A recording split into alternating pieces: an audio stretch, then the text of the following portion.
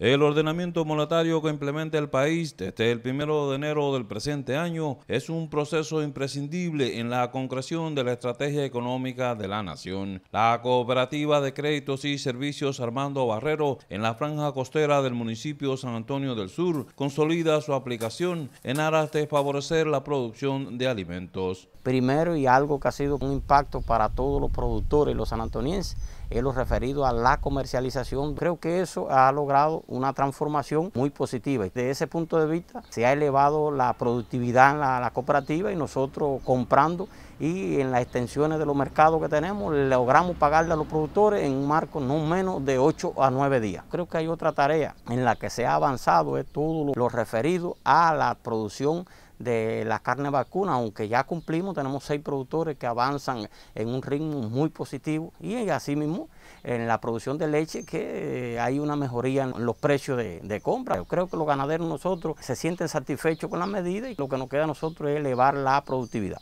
En busca de la eficiencia y la necesaria transformación en el complejo contexto económico, se reorganizan trámites y servicios que se prestan a los productores. Hay otra tarea que han tenido una transformación muy favorable, lo relacionado al tema bancario, el campesino tiene en un término más rápido eh, un crédito. De igual manera con el tema del seguro, se han quitado un poco de trámite burocrático, nosotros decíamos, y se va un poco más a la realidad y lo referido a la prima, y todo lo que pueda ser eh, asegurado. Fortalece el sistema de la agricultura en San Antonio del Sur, ordenamiento monetario, una tarea impostergable para impulsar el desarrollo socioeconómico de los cubanos. Rodolfo Bertotti, Evangelio Galano, para este espacio informativo. motivo.